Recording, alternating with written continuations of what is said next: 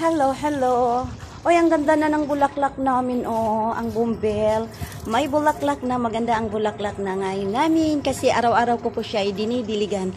Ayan po ang magic rose. Ayan. Yan po ang magic rose. Ang daming mga basura. Ayan, sa mga bulak. Ayan, ang ganda ng bumbel. Tapos ito siya ay aloe vera. Ang dami-dami na naming bulaklak. Ang ganda-ganda na puro mag-green siya lahat, guys. Ayan siya. Ang cactus, andito. Ayan.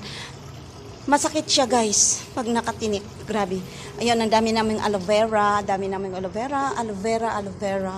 Ayan, aloe vera. Ayan. Ito cactus din ito siya, 'di ba? Ayan. So guys, ang dami-dami naming bulaklak ngayon. Ang ganda-ganda na. Na-green na green na siya. Ayan. Ito ay, hindi ko alam kung anong tawag dyan na bulaklak. Tapos yan, isa namang bumbel. Ayan siya. Yun. Kasi araw-araw ko siyang dinidiligan. So, bumalik na naman siya. Nabubuhay naman ang bumbel ko. Thank you, thank you. Ayan. Mahilig talaga ang amo ko ng mga bulaklak. Ayan siya. Yun, nandoon ang isa. Tapos, nandito ang isa, yung bumbel. So, ngayon, nandito po ako sa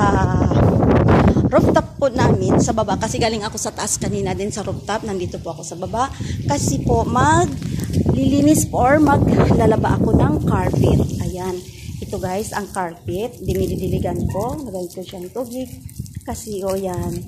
Maglalaba ako ng carpet. Kasi, hindi naman ako sinabihan ng amo ko. Pero sin... Ayan. Yan, basta, ayan, nag, nag, ano ako ng carpet.